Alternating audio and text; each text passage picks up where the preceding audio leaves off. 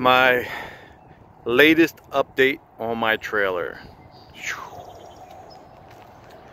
There she is.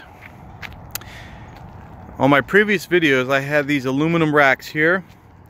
They ran per, uh, perpendicular to the trailer. I ended up cutting the bottoms and bolting them in. And this thing is solid. This was from a, a, member on Stripers Online who was giving it away. Need a little bit of fixing up, um, but it's really good condition. I said to put a couple rivets in it. It's lockable. I have the key.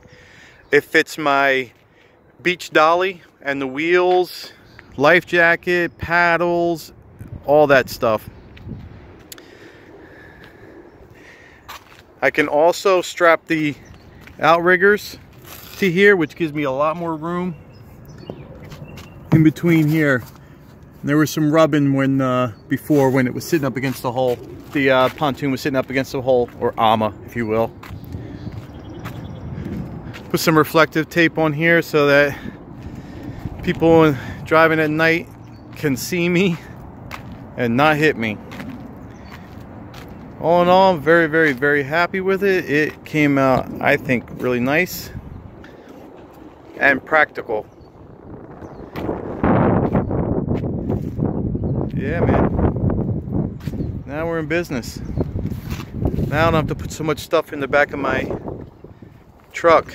Let me go ahead and open it up, the uh, cargo box, so you can see inside. Here's the cargo box opened. 42 centimeter wheels, PFD, beach dolly. I mean, I can still fit more stuff in there paddle, rod holders.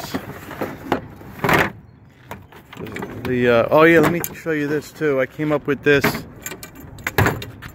for the. Uh, I got to test it out, but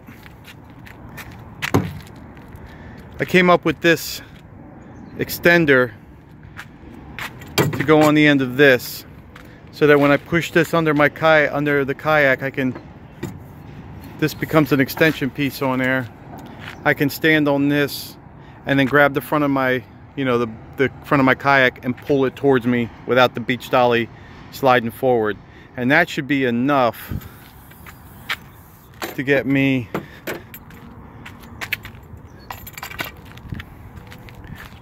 that should be enough to get me right where I need to be. And all that is is a uh, one inch PVC with an inch and a quarter. I didn't have any glue so I had to rivet it, but it just sticks right in there. You can see the one inch as a stopper. See, it's a stopper. So yeah, I think that works out pretty well. All right, that's it.